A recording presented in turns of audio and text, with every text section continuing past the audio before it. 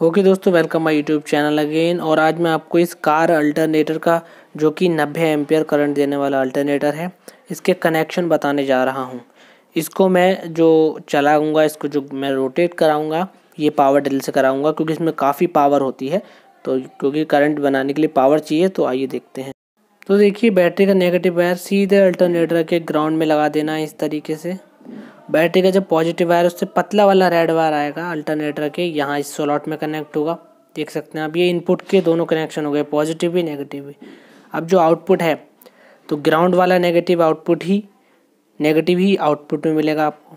और पॉजिटिव ये मोटा वाला रेड वायर है। ये प्लस का आउटपुट आपको देगा मोटा वाला वायर ठीक है?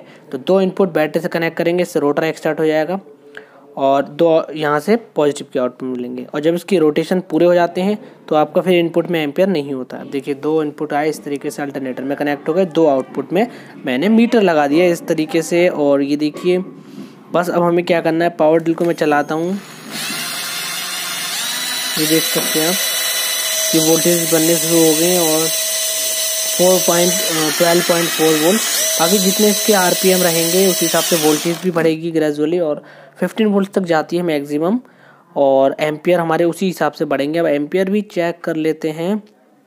हमने इसको मल्टीमीटर को 10 एम्पियर की रेंज पर सेट किया है। रेड वाली प्रॉप को एम्पियर मोड पर कनेक्ट करेंगे। और अब मैं पावर चलाता हूँ, क्योंकि मेरा मीटर केवल 10 एम्पियर तक मेज़र कर सकता है। इसको मैं ज़्यादा नहीं चलाऊँगा, लेकिन हाँ थोड़ा इस पर लोड लगाएँगे, जैसे कि चार एम्पियर, पाँच एम्पियर तक।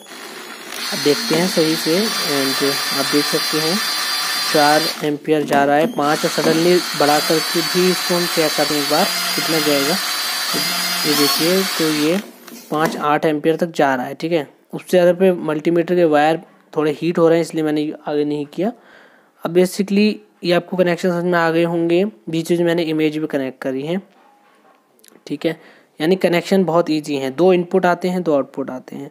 अभी देखिए, मैं आपको दिखा रहा हूँ कि मैंने जो रोटर एक्साइड कर रहा हूँ, वो तीन एम्पियर बैटरी से जा रहे हैं और जब अल्टरनेटर पावर देने लगता है, क्योंकि रोटर में जाने वाला करंट होता है, कितना कम हो जाएगा देखिए। यानी बैटरी से आपका करंट फिर खींचेगा नहीं। ये देखिए तो केवल छः सौ एम्पियर जाएगा।